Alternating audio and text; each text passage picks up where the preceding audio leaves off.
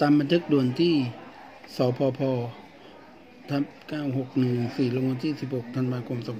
2565สพพขอเชิญประชุมเพื่อหารือและให้ความเห็นการดำเนินงานโครงการประกันภัยนาข้าวนาปี และโครงการประกันภัยข้าวโพดเลี้ยงสัตว์ปีการผลิต 2566 ความแจ้งแล้วนั้น ด้วยกระทรวงการคลัง โดยสำนักเศรษฐกิจการคลัง สสค ได้จัดทำโครงการประกันภัยข้าวนาปี และโครงการประกันภัยข้าวโพดเลี้ยงสัตว์ปีการผลิต2566เพื่อนำเสนอคณะรัฐมนตรี ให้ความเห็นชอบโครงการ และมอบหมายให้ทวสนำเสนอโครงการต่อที่ประชุมคณะกรรมการทวสพิจารณาแนวทางการดำเนินโครงการ และขอความเห็นชอบก่อนนำเสนอคณะกรรมการนโยบาย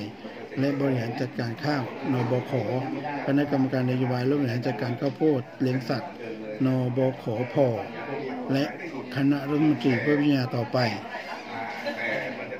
บกมพิจารณาและเห็นว่า โครงการประกันภัยข้าวนาปี ปีการผลิต 2566 และโครงการประกันภัยข้าวโพดเลี้ยงสัตว์ปีการผลิต 2566 ที่ผมสปพเสนอเป็นการดำเนินการแนวทางเดียวกับโครงการประกันภัยข้าวนาปี ปีการผลิต 2565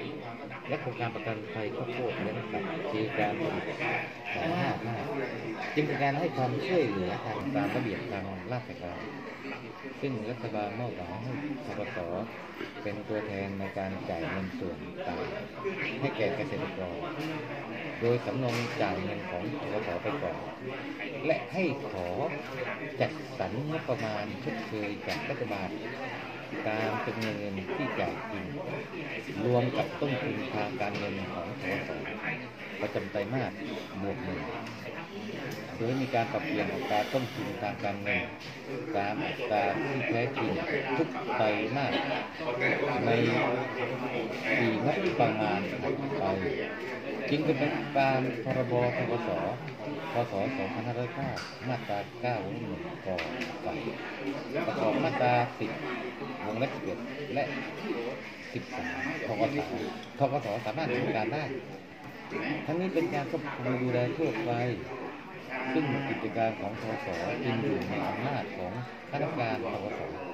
ตามพรบทสพศ2505มาตราที่18 ทั้งนี้ธนาคารจะต้องจัดทำประมาณงบประมาณการต้นทุนทางการเงินและการบริหารจัดการที่ดีไอ้ที่รัฐบาลจะต้องรับภาระทั้งหมด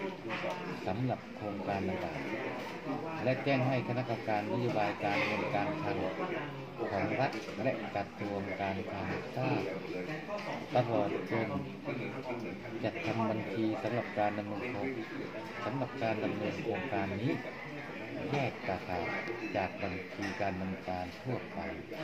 ตามพรบวินัยการเงินการคลังของรัฐพศ2561มาตราที่ 28 และมาตราที่ 29 บันทึกฝกมทับ97035 ลงวันที่ 20 ธันวาคม 2565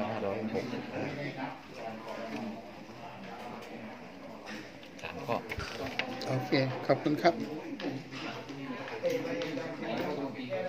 ขอบคุณครับที่ตอบคำถาม